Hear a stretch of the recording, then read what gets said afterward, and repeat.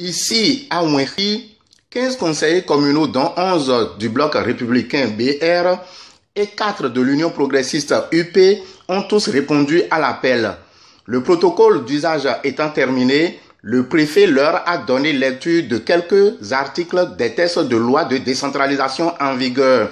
Ensuite, c'est le bureau d'âge mis en place qui a conduit les opérations du vote, malheureusement défavorable à la liste de candidatures présentée par l'honorable Janvier Yawedeo, représentant ici le camp majoritaire BR. Score réalisé 9 non et 6 oui, ce qui oblige le préfet Firmin Couton à suspendre alors la séance faute de majorité absolue pour une échéance ultérieure. La séance a sous demande d'un des élus euh, pour concertations puissent continuer, soit en leur sein, euh, ainsi qu'avec les, les représentants du parti.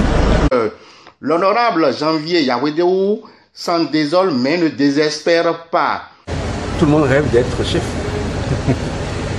Alors, lorsque dans le même groupe, vous avez cinq candidats pour un poste, c'est difficile à gérer.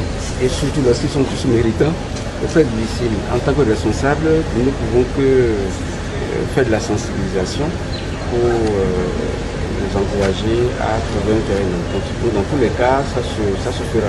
Réaction du conseiller Barnabé Cotin et celle d'un autre citoyen.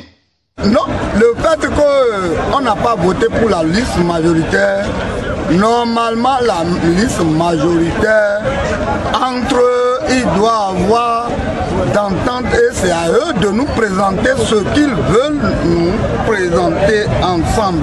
nye gbagbɔ yeme wo ɖo kpo le enile vɔ mɔhi ɖe boɖo gbe kpɔ boblo lɛ lisilisi ne dze ŋugbe bo dze gagbe ne mɛtovi lɛ mina mɔ fifa.